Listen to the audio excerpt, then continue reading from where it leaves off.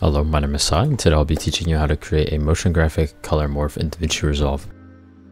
I'm going to start with a blank fusion composition. My timeline is set to 30 FPS, and I'm going to show you two different use cases for this type of shape morph. I'm going to be starting out with a text animation first, but you can skip to 7 minutes and 30 seconds if you want to see only the shape animation. So previously, the only method for this was Pige's text morph, which was you could only use one color. You couldn't just transition between two different colors like I'm going to show you today. So first we're going to start by grabbing a text plus node and I'm just going to write color, turn this size up. I'm going to use Creato display and then I'm going to control C copy this text and control shift V create an instance of this text. And what I'm going to do, I'm going to go into this text right here. I'm going to go to the text box up here, right click, press Deinstance, go to shading, go to the color group, right click and press Deinstance color group. I'm gonna set this color to, or I'm gonna change this text up here to say morph. I'm gonna go over to the shading tab again and set the color to like a red. And I'm gonna go back to this color here and I'm going to go to the shading tab and change this to a sort of blue color like so. Now we have the two pieces of text here. I'm to add a dissolve node. I'm going to put the first piece of text that I want into the foreground here. I'm to put the second text into the background here. And if we go over to the dissolve here, we go to the background foreground parameter and we move it back and forth. It uses a dissolve to transition between the two inputs. So the foreground input uh, is equal to the value of 1 and the background input is equal to the value of 0. So I'm just going to keyframe this about 30 frames out to 0. I'm going to go open the spline tab real quick and I'm going to select my keyframes and press S to smooth it out. I'm going to right click.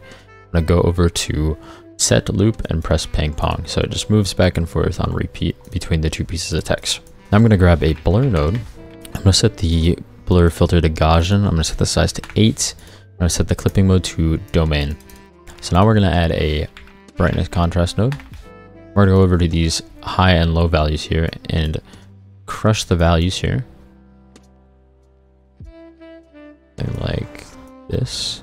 We're to go to the color channels up top and disable every channel except for the alpha channel. So if we play this back now, we can see that we're getting that sort of morph effect here. So what is the problem with this image right here? The problem is that the edges of the text have this kind of inner shadow fringe effect going on that we do not want. Um, and it does not look like the original text whatsoever. RGB values are also spilling into the alpha here, as we can see along these edges here. To prevent this from happening, we need to understand why this happens in the first place. So this has to do with the transparent values within the text itself. These values can vary between 1 through 0. 1 is solid pixels and 0 is 100% transparent. The in-betweens of these are responsible for creating the gradation against the transparent background. This is also referred to anti-aliasing. Original text itself before the blur has an alpha channel and when we add that blur to it, it intensifies that gradation between the background. So if we open this here, we can see here we have that gradation effect going on here. But if we open up this blur, it intensifies that gradation between or the original RGB values and the alpha channel. So as we increase this blur, it brings it out more. In order for the blur to accurately display itself against the transparent background, it multiplies the colors against the current alpha pixels here. It takes the individual color value of each pixel and multiplies it with the corresponding alpha value, which results in this gradation blur. Something to note from this is that the original color values that are now semi-transparent are being shifted away from the true color values. So we can see here, if we just simply hover, if we go to the original morph text here and we view that and we hover over this color, we can see the color values are the same as the set values. But once we add this blur into the um, picture, we can see that the RGB values are changing along with the uh, alpha values, which is causing this issue here where it is not keeping the original colors when we do the brightness contrast. The gradation like process isn't necessarily a problem in itself because we are doing this intentionally when adding the blur. However, when doing color correction like this with the brightness contrast node, it assumes that the pre-multiplied values created from the blur are the original true colors from the text and it's not really taking care of the pre-multiplied image before correction. So not taking care of the pre-multiplied image before correction causes this problem. So in this case, we need to add back those original colors to remove the inner shadow fringe and pre-multiply the values after the correction to restore the proper alpha values to the text. We can do this by adding the alpha divide node. I'm going to add this alpha divide node after the blur, but before the brightness contrast. And if we put this into the viewer here, we'll notice that the um, this is kind of undoing the semi-transparent gradation process on, or like unpre-multiplying the blurred image.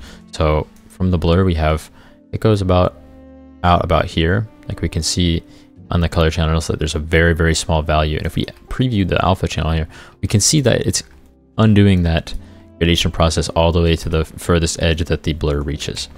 It might be very not visible to you, but there are values there and the software is able to understand that. This is kind of like if anti-aliasing was turned off. This is referred to as the straight image. Once this process is like once we add this alpha divide into here, we go back to our brightness contrast, we can notice we play this back, all these color values are true to their original values, but we have this weird issue with this alpha here. And like I said before, we're just going to multiply back these alpha values.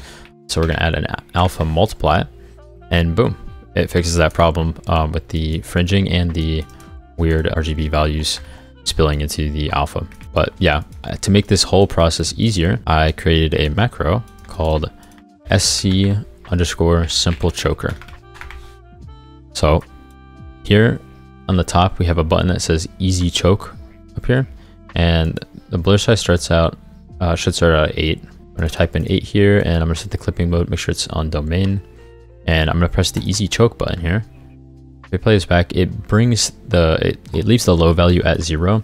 But if we bring this up, we can just do, it's essentially just these nodes, but compacted into one effect here, or with some buttons that make it easier. For example, the easy choke here, it's connecting the high value to the low value and then appending this easy choke append value to the high value to kind of create a new range between the two values. So if we play this back here, move this here, it just makes it a lot easier to adjust instead of having to move two of the handles with each other. So I also over here I have a control called shrink slash expand. If you move it more towards the left, it shrinks the text. If you move it more towards the right, it expands the text more. But you can just mess around with it however you want. I think this looks pretty nice, but now we're gonna move on to the shape morphs instead of the text morphs. So I'm gonna keep this simple choker here because this uh, this will work for both scenarios here. What I'm gonna do is I'm gonna add a background node. I'm gonna go to the text here and sample this color here. I'm gonna preview this uh, one here, add another background node and sample this color as well. So two background nodes with two different colors. I'm gonna add an ellipse node I'm going to connect it to both the background nodes. So we have two circles from the background uh, colors that we chose. And I'm going to merge these on top of each other. So I'm to add another background node and make it transparent by decreasing the alpha to zero and add this to the background of the merge that I just added and pop this circle into the foreground and then copy and paste another merge and set this to the foreground here. And then I'm going to decrease the size of the blue circle. I'm to select both these at the same time so I can modify them at the same time. You could just press control you can select one and press control to select the other. Um, so gonna kind of move them close to each other like this. I think it looks pretty nice. I'm gonna plug this into the simple choker. As you can see here, the shapes are now, so before they're just kind of overlapping each other and now they kind of look like they're morphing into each other. We can increase this blur to kind of enhance that effect and create a gradient between the two shapes. So however we move this, it'll always look like it is sticking to the other shapes. But yeah, that's it. Uh, if you have any questions, just ask. If you also have any other kind of effect recommendations or uh, effect tutorials you guys want to see, just let me know. Yeah, thank you for watching.